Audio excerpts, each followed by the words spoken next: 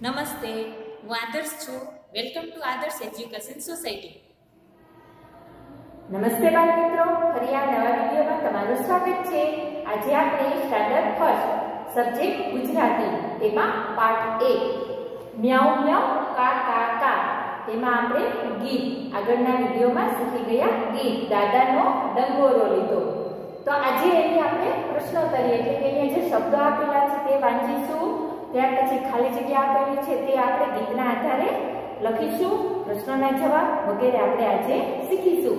તો સૌથી પહેલા અહીંયા આપેલો છે, નીચે આપેલા શબ્દો લખો અને વાંચો. એ પહેલા આપણે ગીતને ફરીથી આપણે રિવિઝન કરી લઈએ, એટલે કે ફરીથી ગીતને આપણે જોઈ લઈએ.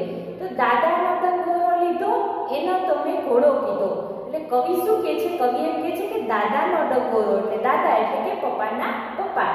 એનો ડંગોરો ડંગોરો એટલે કે લાકડી. એની લાકડી લીધી છે અને પછી આ બાળકો અહીંયા જો આપેલી છે તમને, દેખાય છે? તો એ બાળકે આ કવિએ છે ને કલ્પના કરી છે બાળક વિશે. તો બાળકે દાદાનો ડંગોરો લીધો છે અને ડંગોરાનો ઘોડો કીધો છે. ઘોડો એટલે ઘોડો ઘોડો રમે એ રીતે. ઘોડો કૂદે ઝમ ઝમ ઘૂઘરી વાગે ધમ ધમ. ઘોડો છે કૂદે છે ઘોડો તો કૂદે ને? અને ઘૂઘરી છે એ ઘમઘમ ઘમ વાગે છે. ધરતી ધ્રુજે ધમધમ ઘોડો કૂદે એટલે ધરતી પણ ધમધમ ધ્રુજે છે. ધમધમ ધરતી થાકી જાય, ધરતી છે ધમધમ ધમધમ થાકી જાય છે. અને મારો ઘોડો કૂદતો જાય છે. કૂદતા કૂદતા આવે કોટ પછી ઘોડો કૂદતો કૂદતો જાય છે. તો રસ્તામાં એને શું આવે છે? તો કે કૂદતા કૂદતા આવે કોટ કોટ એટલે કે દીવાલ કૂદતા નાની દીવાલ આવે છે. કોટ કૂદીને મૂકે દોડ. પછી તો એ દીવાલ કૂદીને ઘોડો છે એ દોટ મૂકે છે એટલે કે દોડવા લાગે છે. સૌના મનને મોહી રહ્યો. જે ઘોડો છે બધાના મનને સૌ એટલે કે સૌ બધા.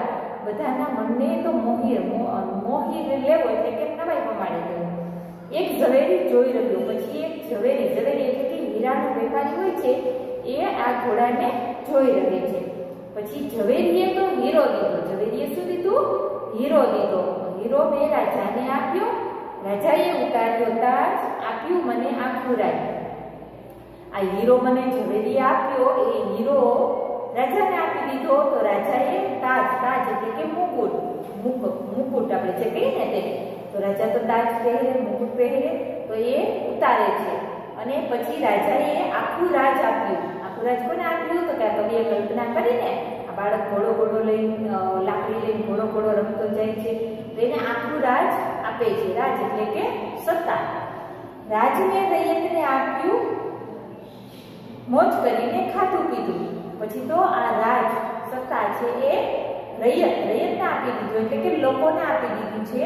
અને પછી તો ખાધું પીધું અને રાજ કર્યું છે. અને આ કાવ્યના કવિ ત્રિભુવનદાસ વ્યાસ. એટલે કે ત્રિભુવનદાસ વ્યાસ દ્વારા આ કાવ્ય રચાયેલું છે.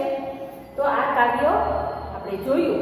હવે અહીંયા આપણે અહીંયા જે શબ્દ આપેલા છે, ત્યાર પછી ખાલી જગ્યા આપેલી છે, તે આપણે જોઈએ. તો સૌથી પહેલા શબ્દોને વાંચીએ. અહીંયા લખેલા છે, આપણે એને વાંચીએ. બાળકો, તમે પણ મારી સાથે વાંચતા જજો. ડંગોરો, લાકડી, ઘોડો, અશ્વ, ધરતી પૃથ્વી ધરા કોટ, દિવાલ, સહુ, સૌ, બધા, હીરો, મણિ, રાજા ભૃપ રૈયત અથવા તો લોકો, મોજ, આનંદ, ઉદે, ઉછળે, ધ્રુજે, થરથરે, દોડ, દોડવું, ઝવેરી, હીરાનો વેપારી, તાજ મુકુટ આખું પૂરેપૂરું, રાજ સત્તા દીધો આપ્યો દાદા પપ્પાના પપ્પા. અહીંયા આપેલા શબ્દોને આપણે વાંચી લીધા. એટલે કે જે શબ્દો હતા એનો અર્થ પણ આપણે સમજી લીધો. હવે અહીંયા આપેલી છે ખાલી જગ્યા. તો ખાલી જગ્યાને આપણે વાંચતા જઈશું અને જવાબ લખતા જઈશું. પહેલી ખાલી જગ્યા છે દાદાનો જગ્યા લીધો તો દાદાનો શું લીધું? દાદાનો ડંગોરો લીધો. ડંગોરાનો ખાલી જગ્યા કીધો. ડંગોરાનો શું કીધો? ઘોડો કીધો. ઘોડાની ખાલી જગ્યા ગમગમ વાગે છે. ઘોડાને શું વાગે ગમગમ? તો કે ઘૂઘરી. ખાલી જગ્યા ધમધમ રૂજે છે. ઘોડો કૂદે છે ત્યારે શું ધમધમ ધ્રુજે છે? તો કે ધરતી. ઘોડો ખાલી જગ્યા કૂદીને દોટ મૂકે છે. ઘોડો શું કૂદીને દોટ મૂકે છે? હા, તો કે કોટ કૂદીને. ઝવેરી ખાલી જગ્યાને જોઈ રહે છે. ઝવેરી કોને જોઈ રહે છે? ઝવેરી ઘોડાને જોઈ રહે છે. કવિએ હીરો ખાલી જગ્યાને આપ્યો. પછી અહીંયા કવિએ કલ્પના કરી છે ને કે આ બાળક જ્યારે કૂદતો કૂદતો જાય છે, ત્યારે આ કવિ કવિ કહે છે કે હીરો કોને આપે છે? તો કે કવિએ હીરો રાજાને આપ્યો. ખાલી જગ્યાએ પોતાનો તાજ ઉતાર્યો. કોને પોતાનો તાજ ઉતાર્યો? તો કે રાજાએ. કવિએ આખું રાજ ખાલી જગ્યાને આપ્યું. કોને આપ્યું આખું રાજ? તો કે રૈયતને. દાદાનો ટકોરો ગીતના, કવિનું નામ ખાલી જગ્યા છે. ગીતના કવિનું નામ શું છે? તો કે ત્રિભુવન દાસ વ્યાસ. હવે ખાલી જગ્યા ફરીથી વાંચીએ. પેલી ખાલી જગ્યા દાદાનો ખાલી જગ્યા લીધો, તો કે ડંગોરો. ડંગોરાનો ખાલી જગ્યા કીધો, ઘોડો. ઘોડાની ખાલી જગ્યા ધમધમ વાગે છે, ઘૂઘરી. ખાલી જગ્યા ધમધમ ધ્રુજે છે, ધરતી. ઘોડો ખાલી જગ્યા કૂદીને દોટ મૂકે છે, કોટ. ઝવેરી ખાલી જગ્યાને જોઈ રહે છે કે ઘોડાને. કવિએ હીરો ખાલી જગ્યાને આપ્યો રાજાને. ખાલી જગ્યાએ પોતાનો તાજ ઉતાર્યો છે, તો કે રાજાએ. કવિએ આખું રાજ ખાલી જગ્યાને આપ્યું, તો કે રૈયતને. દાદાનો ડંગોરો ગીતના કવિનું નામ ખાલી જગ્યા છે, ત્રિભુવન દાસ વ્યાસ. હવે પછી આપણે આગળના પ્રશ્નો જોઈએ. ત્યાર પછી આપણે જોઈશું પ્રશ્નોના જવાબ લખો. તો અહીંયા પહેલો પ્રશ્ન છે કે બાળક એટલે કે કવિએ દાદાનું શું લીધું છે? બાળકે શું લીધું છે? તો કે દાદાનો ડંગોરો લીધો છે. ત્યાર પછીનો બીજો પ્રશ્ન છે, ડંગોરાનું શું કીધું છે? તો કે ડંગોરાનો ઘોડો કીધો છે. ડંગોરાનો શું કીધો છે? ઘોડો કીધો છે. ત્યાર પછી ત્રીજો પ્રશ્ન છે, ઝમઝમ કરતું કોણ કૂદે છે? તો કે ઝમઝમ કરતું ઘોડો કૂદે છે ઘોડાની ઘૂઘરી કેવી વાગે છે? તો કે ઘોડાની ઘૂઘરી ઘમઘમ વાગે છે. ઘોડો શું કૂદતો કૂદતો જાય છે? તો કે ઘોડો શું કૂદતો કૂદતો જાય કોટ. કોટ કૂદતો કૂદતો જાય ને? તો કે ઘોડો કોટ કૂદતો કૂદતો જાય છે. કોટ કૂદીને કોણ દોટ મૂકે છે? તો કે ઘોડો. ઘોડાને કોણ જોઈ રહે છે? ઘોડાને એ ઝવેરી જોઈ રહે છે. ઝવેરીએ શું આપ્યું? તો કે ઝવેરીએ હીરો આપ્યો. આખું રાજ કોને આપ્યું? કવિએ કે આ બાળકે આખું રાજ કોને આપ્યું? તો કે રૈયતને આપ્યું. દાદાનો ડંગોરો ગીતના કવિનું નામ લખો કવિનું નામ આપણે આગળ શીખી ગયા છીએ શું છે બાળકો બાળકો તો કે ત્રિભુવન દાસ વ્યાસ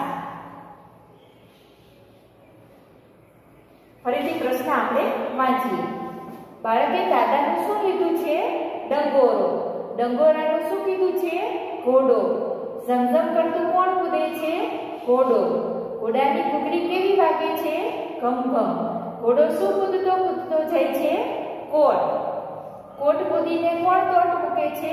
ઘોડો. ઘોડાને કોણ જોઈ રહે છે? ઝવેરી. ઝવેરીએ શું આપ્યું? હીરો. આખું રાજ કોને આપ્યું? રૈયતને. દાદાના ટકોરો, ગીતના કવિનું નામ લખો. તો કે ત્રિભુવન દાસ વ્યાસ. ત્યાર પછીનો પ્રશ્ન, સરખા પ્રાસવાળા શબ્દો જોડો. અહીંયા શબ્દો આપેલા છે અ વિભાગમાં અને બ વિભાગમાં સરખા પ્રાસવાળા એટલે કે પાછળનો જે અક્ષર સરખો આવતો હોય તે શબ્દની અંદર તો એ જો લીધો સમસમ કોટ, તાજ ખાધું કીધો, પીધું અને ધમધમ. તો અહીંયા આપણે લીધો, તો કીધો. જો પાછળનો અક્ષર છે સરખાડી અને સરખા પ્રાસવાળા. લીધો, કીધો. ઝમઝમ ધમધમ. કોટ દોડ તાજ રાજ ખાધું પીધું એટલે સરખા પ્રાસવાળા આપણે શબ્દ જોડી દીધા. ત્યાર પછીનો પ્રશ્ન, વિરોધી શબ્દ લખો અને વાંચો. અહીંયા વિરોધી શબ્દ આપેલા છે. એ વાંચતા જઈશું અને એનો અર્થ આપણે લખતા જઈશું. ધરતી, તો ધરતીનો વિરોધી શબ્દ. ધરતી, ધરતીનો વિરોધી આકાશ ઉતાર્યો. તો કે કે ઉતાર્યો? તો ચડાવ્યો રાજા તો રંગ આપ્યું આપણે એમ કહીએ ને કે આપ્યું અને લીધું। આપ, આપ્યું તો કે લીધું?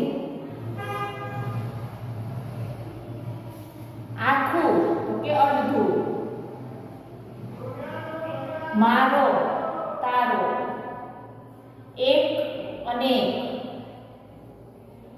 મને એનો વિરોધી શબ્દ તને આવડું તો એનો વિરોધી શબ્દ જવું ફરીથી વિરોધી શબ્દ આપણે વાંચીએ ધરતી, આકાશ ઉતાર્યો ચડાવ્યો રાજા રંગ આપ્યું, લીધું, આખું અડધું. મારો તારો એક અને મને તને આવવું જવું. તો બાળકો, અહીંયા જે આપણે આગળ આપેલા શબ્દો, પછી ખાલી જગ્યા, પ્રશ્નના જવાબ, સરખા પ્રાસવાળા શબ્દો અને વિરોધી શબ્દો. એ બધું જ તમારે તમારી ગુજરાતીની પાકી નોટબુકમાં સારા અક્ષરે એક વખત પેન્સિલથી લખી લેવાનું છે. હવે પછીની ચર્ચા બાળકો, આપણે આવતા વિડીયોમાં કરીશું. Thank you for joining us